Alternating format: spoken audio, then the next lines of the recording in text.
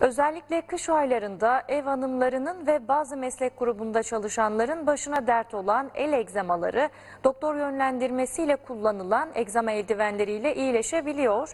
Cildiye uzmanı uzman doktor Müge Çoban eldivenin de dikkatli kullanılması gerektiğini söylüyor. Temizlik yaparken sağlığınızdan olmayın. Özellikle kadınların ev temizlikleri için sıklıkla başvurdukları bazı yöntemler el egzamasını tetikleyebiliyor.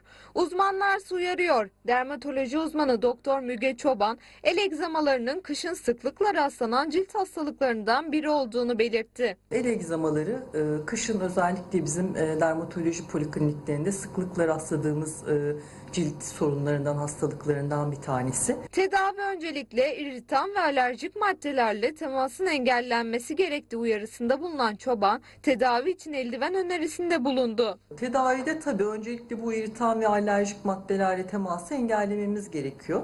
E, irritan e, maddelere karşı özel işte böyle egzama eldiveni dediğimiz eldivenler var. Onlardan kullanılabilir. Bu eldivenleri bile yani 15-20 dakikadan fazla e, kullanmayacağız. Hemen çıkarıp ellerimizi güzelce yıkayıp durulamamız ve nemlendirmemiz gerekiyor.